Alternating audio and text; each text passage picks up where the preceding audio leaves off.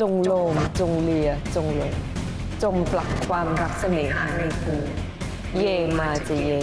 เยกูเยกูจงเยลองไปท่องดูเออ เผื่อได้มีแล้วมีคนบอกว่าท่องอันเนี้ยแล้วได้ด้วยนะ มันง่ายเป็นนิดนึงไหมคะหรือว่ามันอยากอยู่แล้วเป็นทุน ไม่ครับคาถามันรุนแรง เอาไล่คาถามันรุนแรง หนูท่องขนาดนี้จะไม่รักไม่หลงไม่ลุ่มหลงได้ยังไง การใช้เสน่ห์มนต์ดำอย่างร้ายกาจนะคะ แล้วก็คาถาเรียกผัวให้ผัวรักผัวหลงจนงูหัวไม่ขึ้นเนี่ย ตอนนี้หนูกลายเป็นตัวแม่แล้วนะคะทำให้ฉันดูหน่อยสิคะ จงโลมจงเลีย จงหลง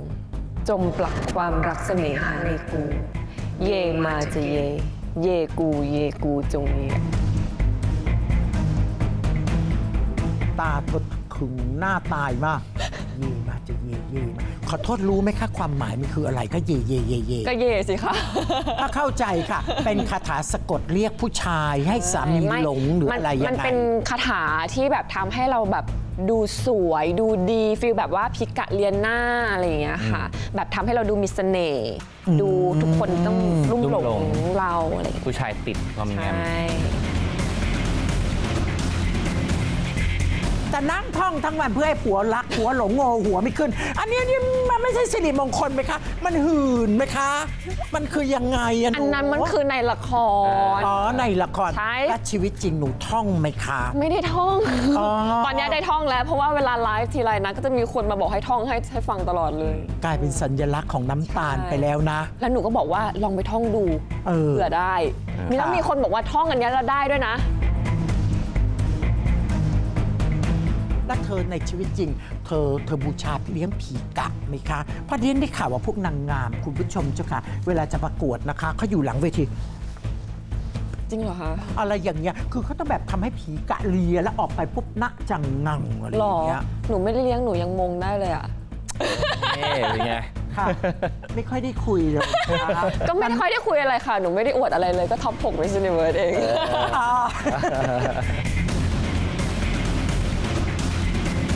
การช่ำชองยั่วยวนผู้ชายแล้วมัดใจผัวทั้งๆที่เธอก็ไม่เคยมีประวงประวัติอะไรอย่างนี้อ้าวก็ในละครก็บอกกับเจ้าหลวงอยู่ว่าข้าเจ้าไม่เคยข้าเจ้ากลัว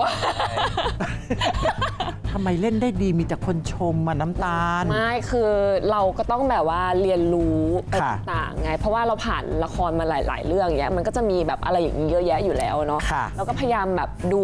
คือหนูจะเป็นประเภทที่แบบว่า เวลามีละครตัวเองออนเนี่ยก็จะจะดูตัวเองเพื่อค่ะ ปรับ ปรับตัวเองว่าเออเราควรแก้ตรงไหนอย่างแต่ก่อนเนี้ยค่ะเวลาพูดหรือเวลาจะทำอะไรอย่างเงี้ยคือหนูจะเป็นคนแบบเสียงแผ่วปลายอ่าจะไม่ค่อยมีน้ำหนักอะไรอย่างเงี้ยค่ะ ก็จะพยายามแบบปรับตัวเองหลาย ๆ อย่างเรื่องของการพูดเรื่องของสายตาเรื่องของแบบอากับกิริยาต่าง ๆ อะไรอย่างเงี้ย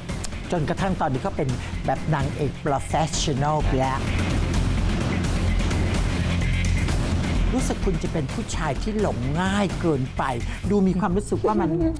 มันง่ายเป็นนิดนึงไหมคะหรือว่ามันอยากอยู่แล้วเป็นทุน ไม่ครับคาถามันรุนแรง เอาไล่คาถามันรุนแรงหนูท่องขนาดนี้จะไม่รักไม่หลงไม่ลุ่มหลงได้ยังไง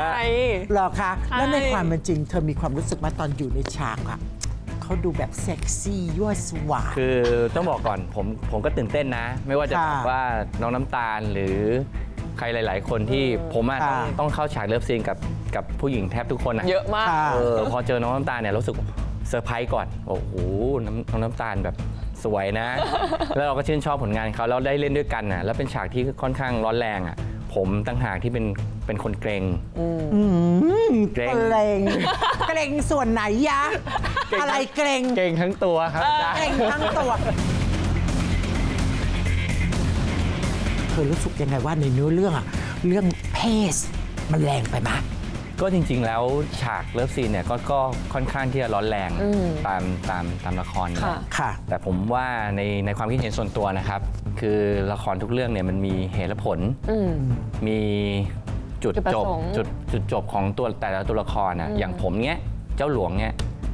มาก ๆ ในกามตัณหาราคะเนี่ย เลือกคนได้เหมาะจังจะ หน้าตาให้จังให้เหรอครับว่าพี่กิ่งเขาโอ้นะออกจะเรียบร้อย บางมุมฉันก็คอยดูแอบหืนๆเอ๊ะมีบางคนที่เขาแบบอนุรักษ์นิยม แล้วก็มีความรู้สึกว่าเรื่องแบบนี้มันเรียนเรียนไม่เคยเจออะค่ะแรงแบบนี้ผ่านจอทีวีเรียนรับไม่ได้ค่ะ ลูกหลานเดียนนั่งดูอยู่ มันจะทำให้เป็นตัวอย่างไม่ดีกับเยาวชนมาก ๆ ในการมาลมเดียนมีความรู้สึกว่าคุณควรรับผิดชอบสังคมนะคะ เราสามารถที่จะให้เด็กหรือเยาวชนเนี่ยดูไปกับเราได้นะ เพราะว่าเรื่องอย่างเงี้ยมันเป็นเรื่องธรรมชาติของมนุษย์อยู่แล้ว แล้วการที่เราทำให้เขาได้เห็นตรงเนี้ยโดยที่เราอะอยู่ด้วย แล้วเราก็บอกเขาว่าสิ่งนี้ควรจะเป็นยังไง หรือวิธีการที่เขาจะป้องกันตัวเอง หรือในอนาคตต้องเจอกับอะไรบ้างค่ะหรือว่าอันเนี้ยมันเป็นสิ่งที่อย่างหนึ่งที่ทำให้เขาได้เรียนรู้ไปอีกแบบหนึ่งแล้วเขากล้าที่จะคุยกับเรามากยิ่งขึ้นค่ะบางทีเราเรื่องอย่างเงี้ยเขากลัวไปทำอะไรไม่ดี เขาก็จะไม่กล้ามาบอกเรา แต่การที่มีอย่างเงี้ยออกมา มันทำให้เขาให้ได้ได้รู้ว่าได้เรียนรู้ว่าเออตรงเนี้ยมันก็เป็นเรื่องธรรมชาตินะ แต่ว่าทำยังไงก็ได้ ให้เรารู้สึกว่าเราต้องป้องกันตัวเองหรือปกป้องตัวเองจากตรงนี้ด้วยอะไรอย่างเงี้ยค่ะละครเรื่องหนึ่งอะครับมันมีมีหลายมุมมองใช่มีทั้งความบันเทิง มีทั้งสาระสอดแทรก ความผิดชอบชั่วดีอยู่แล้ว ค่ะ ตรงนี้ก็อยู่ที่สังคมครับที่ดูแล้วมีวิจารณญาณยังไง เออไม่ว่าจะเป็นภาพยนตร์เป็นละคร ตัวของนักแสดงเนี่ยนน่าจะมีส่วนในการช่วยผลักดันซอฟต์พาวเวอร์ของไทยได้ น่าจะผลักดันในเรื่องของการท่องเที่ยวครับ ค่ะ ด้วยด้วยละครพีเรียดในแต่ละเรื่องเนี่ยจะมีเรื่องของสถานที่ความเป็นมาโบราณโบราณเป็นยังไงความสวยงามของ วัดอารามต่างๆปัเนี่ยจจัยค่ะผมว่าตรงเนี้ยมันสามารถเป็นซอฟต์พาวเวอร์ในการที่จะผลักดันให้คนไทยเองด้วย แล้วก็คนต่างชาติเนี่ย ไปเที่ยวตามสถานที่ที่อยู่ในละครอย่างเงี้ยเหมือนเหมือนพวกซีรีอันส์นั้เกานหลีเป็นละครจริงใช่ไหมเหมือนไปตามรอยครับดูละครแล้วก็ไปตามรอยละคใช่แล้วก็ไปเช่าชุดแต่งตัวเป็นเจ้าหลวงใช่ครับอ่าแล้วก็เดินผ้าผ่อนลุกลุยลุ่งลิ่งยั่วไปทั่วก็ส่วนเธอล่ะอย่าบอกนะยะเดินมาเสร็จก็ท่องเยเยเยทั้งวัน น้ำตาลเธอจะซอฟต์พาวเวอร์ยังไงคะซอฟต์พาวเวอร์ผีกะค่ะเอาเหรอเธอจะทำยังไงกับผีกะให้เป็นซอฟต์พาวเวอร์เอามูเตลูไงคะบ้านเรามูเตลูเก่งจะตายใช่ไหมอาจจะเป็นเรื่องของแบบอ่าเรื่องของความเชื่อต่างๆอะไรอย่างเงี้ยค่ะมันก็เป็นได้แต่ว่าจริงๆคือทุกวันเนี้ยมันเป็นเรื่องของความสบายใจของคนมากกว่าค่ะ ในเรื่องของการที่เราจะแบบไปไปไหว้พระขอพรที่ไหน เพื่อความเป็นสิริมงคลให้กับชีวิตเราอะไรอย่างเงี้ยค่ะมันมันมันก็เป็นเหมือนสิ่งหนึ่งที่เข้ามาในชีวิตอะไรอย่างเงี้ยคิดว่าอันนี้ก็น่าจะมีส่วนได้เหมือนเหมือนกันค่ะ